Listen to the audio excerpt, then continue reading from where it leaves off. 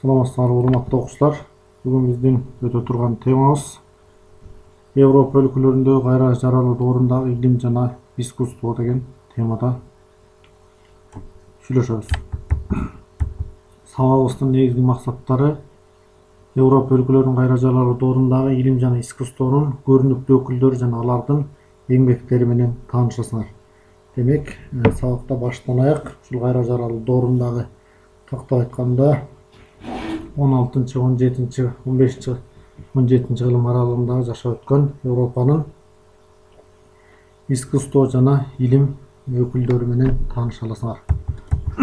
Алгач биринчи эле николай коперниктен баштайлы. Николай коперник бир миң төрт жүз жетимиш үчүнчү жылы польшадагы торни шаарында бай соодагердин үй бүлөсүндө төрөлгөн апасы шаардык соттун кызы болгон. Бир миң беш жүз он бешинчи жылы коперниктин асман телолорунун кыймылына байланышкан гипотезага кичи комментария деген эмгегинин кол жазмасы пайда болгон.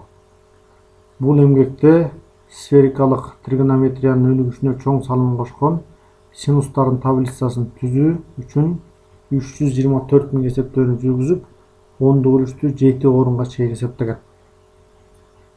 Эң маанилүү эмгектеринин бири бул николай коперниктин асман сферасынын айлануусу китебинде планеталар күн айланасында тегерек орбита боюнча бир калыпта айланат деп жазган. Жаңы түзүлгөн гелио борбордук система птолемейдин системасындагы татаалдануудан арылдып планеталардын кыймылын үйрөнүү бир кыйла жөнөкөйлөнүп калган. Эми көрүп тургандай жигиттер николай коперник эң алгач күндүн айланасында башка планеталар анын ичинде жер системасы дагы айланат деген ойду бергиси келген коперник сунуш кылган дүйнөнүн гелио борбордук системасын байкоонун жана ченөнүн негизинде логикалык жөнөкөйлүктүн жана эстетикалык симметриянын негизинде далилдөөгө жетишкен мындайча айтканда анын асман сферасынын айлануусу деген эмгегинде бир да байкоолор жана ченөлөр жөнүндө айтылган эмес бул эмгегинде ал төмөндөгүдөй ойду айткысы келген чындыгында планеталар жерге жакындап жана алыстап турат. Ошондуктан жерди бул айлануу кыймылынын борбору деп айтууга болбойт. Пифагорчу филолой айткандай жер деле башка планеталар сыяктуу кыймылдайт. Корабль порттон кетип жатканда шамал жок болсо байкоочу өзүн тынч абалда сезип жээктегилер кыймылдап жаткандай көрүнгөн сыяктуу жер да кыймылдабай тургандай сезилип аалам анын айланасында айланып жаткандай көрүнөт деп жөнөкөй түшүндүргөн. Бул эң туура түшүнүк болуп эсептелген э, ушундай ойду алгачкылардан болуп коперник айтып чыккан. Бирок анын э, жогоруда айтып кеткен эмгеги тактап айтканда асман сферасынын айлануусу жөнүндөгү китеп бир миң төрт жүз кырк үчүнчү жылы э, автор кат ооруп жатканда басмадан чыгып китеп колуна алгандан кийин бир нече сааттан кийин каза болгон эми бул николай коперниктин жалпы эле илимге анын ичинде физика илимине астрономия илимине негиз кошкон салымы бул эмгеги астрономиянын буркандаган доорунун башталышынын э, этабы болгон э, андан кийинки дагы бир өкүл бул жардана бруно жардана бруно жүз кырк сегиз бир миң алты жүзүнчү жылдары италиянын жашап өткөн. Ал италиянын философу болуп эсептелген. Э, ал мана ал он жети жашында доминиканчылардын орденине орден деген орден деген ошол кезде согуш. Мындайча айтканда бүгүнкүчө айтканда дивизия же болбосо согуш уюму деп аталган ошол орденге кирип ал жерден жардана деген манактык ысым берилген. Ошол кезде эле ал баягы диний догмалар именно ошол диний дегенде бул жалпы динди түшүнүшүбүз керек.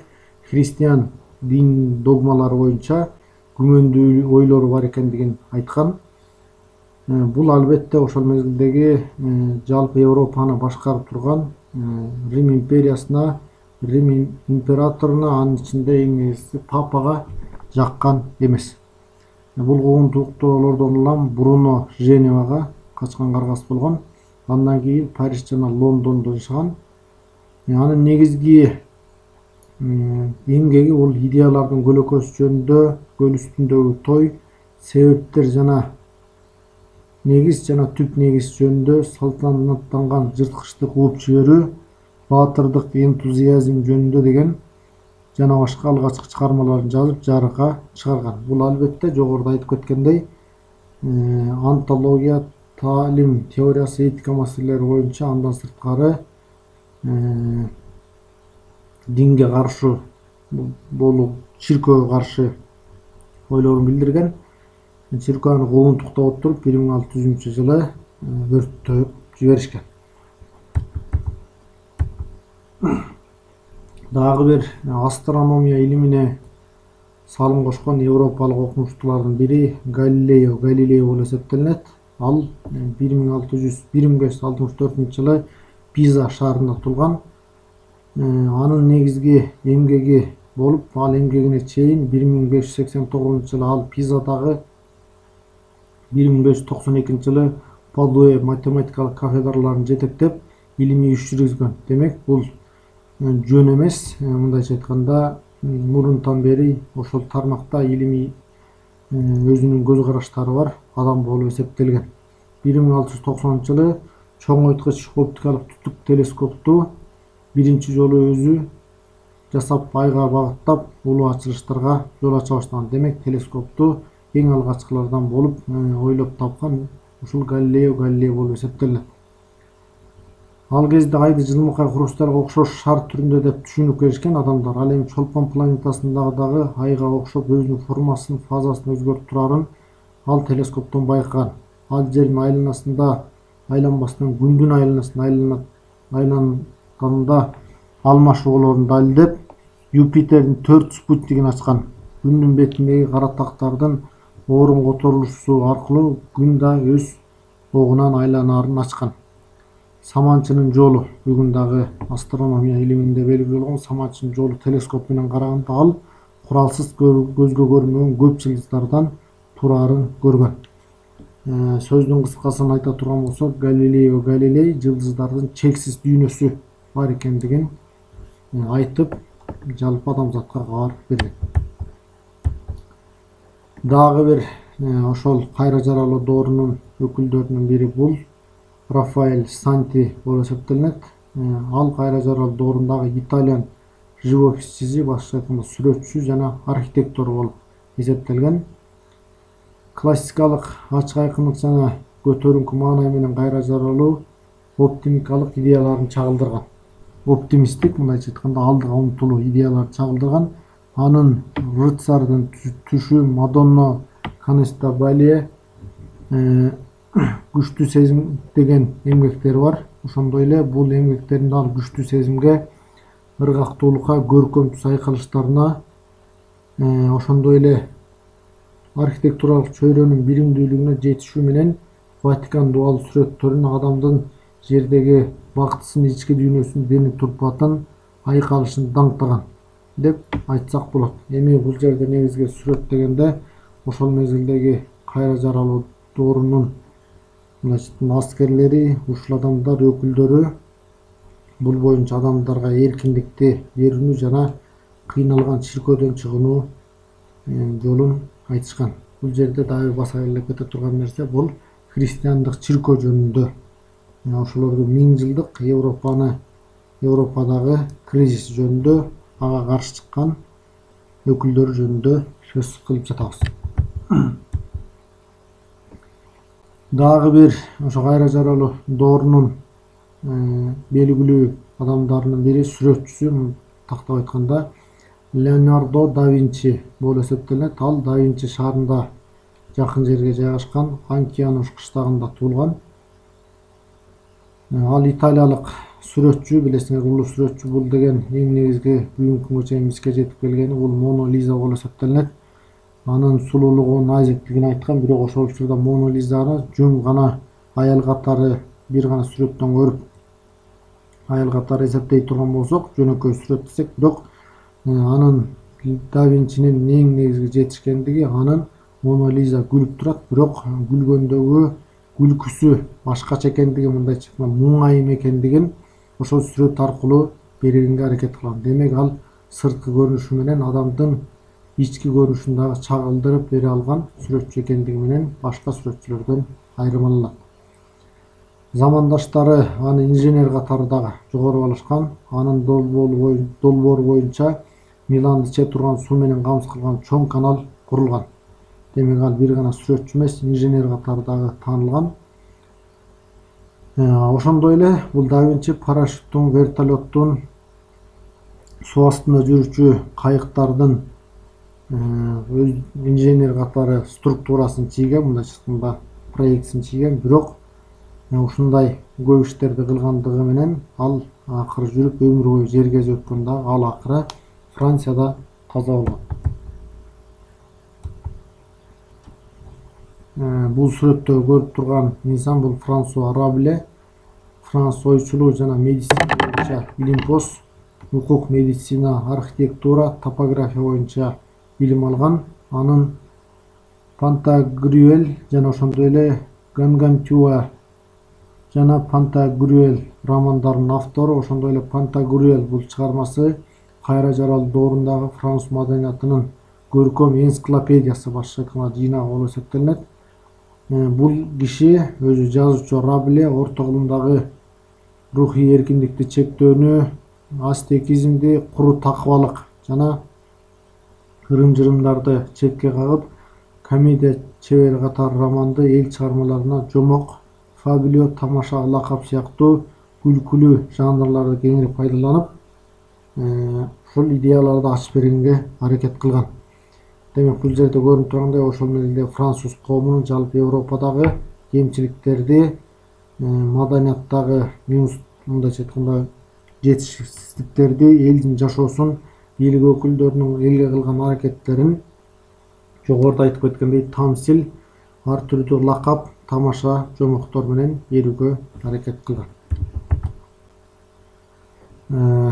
дагы бир өкүл бул эми акыры жүрүп турбай мамлекеттик ишмерлерге келе баштадык бул томас мор томас мор мор негизи англис гуманисти мамлекеттик ишмер жана жазуучу болуп эсептелген ал утопиялык социализмди негиздөөчү утопия деген бул жомок деп эсептелебиз ошол мордун ушул чыгармасына кенен токтоло турган болсок ал мордун атагын утопия диалогу чыгарган ал кыялданган эми ушул мезгилге ушул сөздөн өтөрдөн мурун силерге бир нерсени айта кете турган болсок ошол мезгилде элдин жашоосу дыйкандардын кыйналгандыгын көрүп ар кайсы коомдун катмарындагы адамдар ар түрдүү ойлорду айта баштаган канткенде оңолобуз деген алардын бири ушул томас мордун утопиясы ал кыял кыялданган жер утопия деп аталган бул мор адамзаттын тарыхында биринчи жолу жеке менчик жоюлуп керектөө теңдик орноп өндүрүш жана турмуш жалпы элдин энчисине өткөн коомду сүрөттөгөн утопияда эмгек бүт жарандардын милдети мүдөлөр толук канааттандырылган жумуш күнү алты саат орто жумуштарды кылмышкерлер оор жумуштарды кылмышкерлер гана аткарган утопиянын саясий түзүлүшү шайлоо жана улуулук принцибине негизделген ушул утопия деп аталган же болбосо кыргызчага тургондо жок жер деп аталган чыгармасында ал ошондой жашоону мындайча айтканда менчик эмес жалпы элдик жашоону социализмди колдогон идеясы менен чыккан. Бирок жүз отуз төртүнчү жылы э, корольго баш ийбеген киши катары ал камакка алынып э, атылып өлтүрүлгөн. Бул инсан боюнча жалпы баардыгыбызга эле аты белгилүү болушу керек белгилүү болсо керек. Бул уильям шекспир. Уильям шекспир англиялык акын драматург жана актер болгон ал көпчүлүк тарабынан англис тилинде жазган улуу жазуучу жана дүйнөдөгү дүйнө боюнча көрүнүктүү драматург катары эсептелген эми ал өмүрүндө отуз сегиз пьеса жүз элүү төрт сонет мындайча айтканда эки узун баяндоолор жана башка автордук такталган бир нече ыр саптары бар. Бул шекспир жөнүндө кененирээк токтолууну туура көрдүк. Себеп дегенде мунун себебин э, кийинки слайдтарда айтабыз. Анын чыгармалары негизи үч учурга бөлүнгөн. Биринчиси пессимисттик экинчиси оптимисттик андан кийин романтикалык пессимисттик мезгили бул. Отелло гамлет король лир макбет кориалон жана башка улуу трагедияларды камтып турган. Ал эми оптимисттик мезгилинде болсо комедиялары ромео жана жюлеттер сыяктуу трагедияларынан тартып ричардтар генрихтер жөнүндө драмалары кирет ошондой эле экинчи мезгилде болсо ал негизинен ричард үч ошондой эле ромео жана жюлетто драмаларында турмуштун карама каршылыктарын терең сүрөттөп бергенге аракет кылган. Алты жүз бир миң сегиз жүзүнчү жылдары англиянын коомдук саясий турмушунун бурулуш жылдарына туш келген ушуга байланыштуу трагедиялык кырдаалда социалдык философиялык чыгармалар мисалы үчүн гамлет король отелло жана башка чыгармаларын жазып жараткан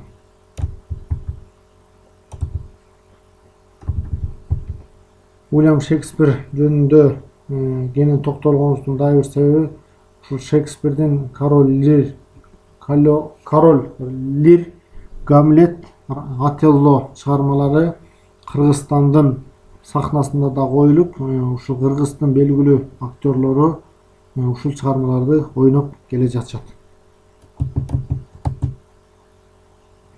дагы бир өкүл бул кайра жаралуу доорунун дагы бир өкүлү бул жан жак руссо бул азыркы швейцарияда же болбосо женева шаарында төрөлүп париж шаарында парижге жакын жерде каза болгон.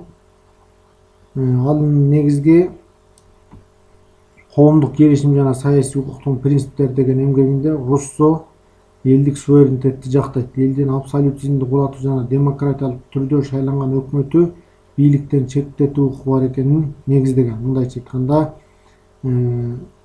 демократиялык ойлорго элдердин шайлоо менен бийликтегилер шайлоо менен шайланышы керек деген ойлорду айтып чыккан ошол мезгилдеги гуманисттердин бири болуп эсептелинет ошондой эле анын дагы бир чыгармасы руссонун эстетикалык жана педагогикалык көз караштарын чагылдырган бул эмиль же тарбия жөнүндө романында ал чагылдырып өткөн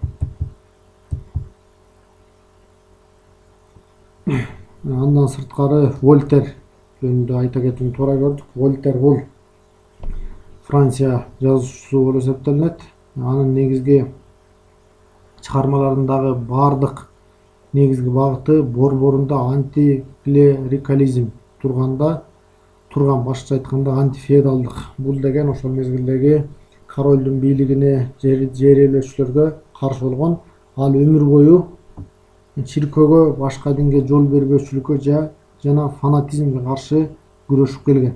Мындайча айтканда ал ошол мезгилдеги королдук бийлик абсолюттук бийлик өмүр бою болбошу керек деген ойлорду айткысы келген. Бул көз караштар боюнча анын метафизика жөнүндө трактат ньютондун философиялык негиздеринде кандин философиялык сөздүктө ошондой эле философиялык каттарда деген эмгектеринде чагылдырылган. Дагы бир кайра жаралуу доорунун дагы бир өкүлү бул шарль монтеске болуп эсептелинет. Бул монтеске француз философиясынын өкүлү анын негизги чыгармаларынын бири болуп бул римдиктердин улуулугун жана кулашынын себептери жөнүндө ой жүгүртүү деген эмгеги болгон. Ошондой эле анын мыйзамдардын духу деген эмгеги бул монтескенин башкы чыгармасы болуп эсептелинет. Ал эми ошондой эле монтеске бул бир гана жөнөкөй ойчул болбостон философ болбостон ал негизи мамлекеттик ишмер болгон ар бир социалдык структурада монтеске тигил же бул адамды кумар ышкылыкты башкы нерсе деп эсептейт. Ал эми аны турук табалда сактап туруу үчүн тургандай аракеттенүүгө мүмкүндүк берген. Республика үчүн изгилик монархия үчүн ар намыс деспотия үчүн коркунуч мүнөзү деп ушулар ооздуктап турат кумар ышкылыкты деп ойлогон. Ошондой эле монтеске бул байланышты климат жер кыртышы ошондой эле рельефи дагы адамдардын психологиялык психологиялык абалына бири бири менен байланышына түзмө түз таасирин тийгизет деп эсептеген ойчулдардын бири болгон. Негизи кайра жаралуу доорунун өкүлдөрү өтө көп. Алар боюнча негизги ушул ири өкүлдөрү ушулар болду. Бүгүнкү сабагыбыз ушуну менен аяктады. Көңүл бурганыңар үчүн чоң рахмат